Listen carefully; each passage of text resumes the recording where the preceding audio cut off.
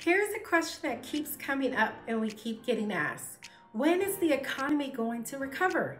I feel it's important to look at the facts. The American economy, it's like someone hit the pause button. Very different from 2008. The 2008 crash came fast and we had to rebuild the housing and mortgage market.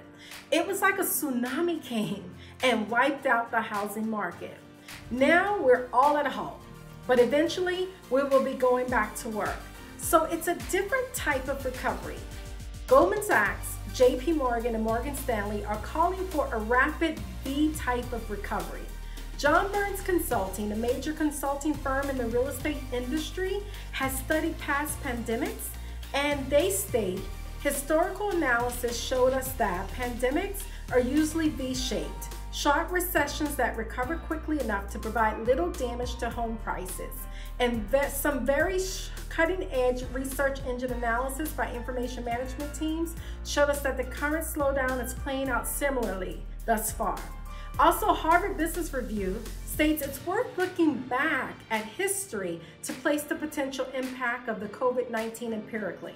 In fact, these shapes monopolized the empirical landscapes of prior shocks, including pandemics such as the SARS, known as the 1968 H3N2 Hong Kong flu, the 1958 H2N2 Asian flu, and the 1918 Spanish flu. So in the past pandemics, we saw that they were V-shaped patterns. So yes, it's a crazy wild ride right now, and everyone has been delayed and put on pause. So experts are anticipating once the pandemic restrictions are up and people go back to work, they still need and want to buy homes, that the housing market will go back to normal. Hey, I'm not giving you my opinion. I'm just stating what the experts are saying, and I thought it could be of service to you. Feel free to reach out to me here at Natasha Carroll Realty with any questions or concerns you have. We are always here to help.